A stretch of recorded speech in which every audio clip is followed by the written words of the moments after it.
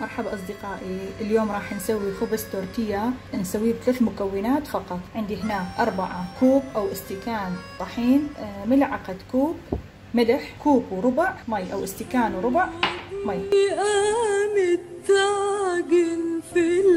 هذا هو الشكل النهائي للعجين. نخليه يرتاح فد نص ساعة ونبدي نشتغل به. هسه ورا ما خلينا العجينة ترتاح فد ربع ساعة. شوفوا شلون قوامها صار آه، هش. راح نقسمها. يا صنايعي اجعل صباحك صباح الخير. يا استعطينا صباح الصباح.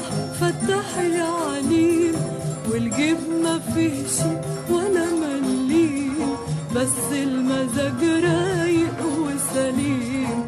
باب